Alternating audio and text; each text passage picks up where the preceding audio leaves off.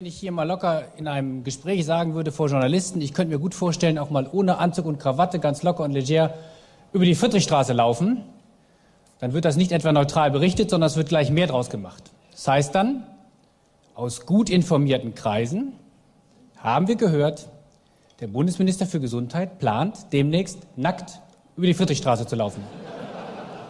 Bevor Sie die Chance haben, darauf zu reagieren, Kommen gleich die Stellungnahmen aus den Fraktionen. Mein neuer Kumpel Dr. Lauterbach meldet sich als allererster zu Wort.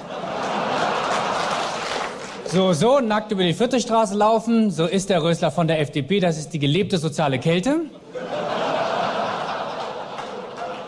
Der Koalitionspartner, lieber Jens Spahn, ist zwar netter, aber nicht ohne Kritik. Der sagt sich, na, das hat der junge Minister falsch verstanden.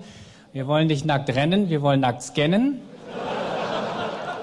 Breite Unterstützung von meiner eigenen Fraktion, liebe Frau Flach. Wenn die Steuern gesenkt werden und die Rahmenbedingungen stimmen, dann wird der Rösler auch bald wieder was zum Anziehen haben. Dafür wird der Markt schon sorgen.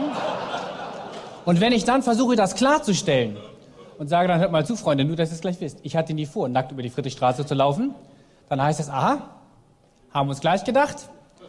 So jung und frisch ist der gar nicht mehr.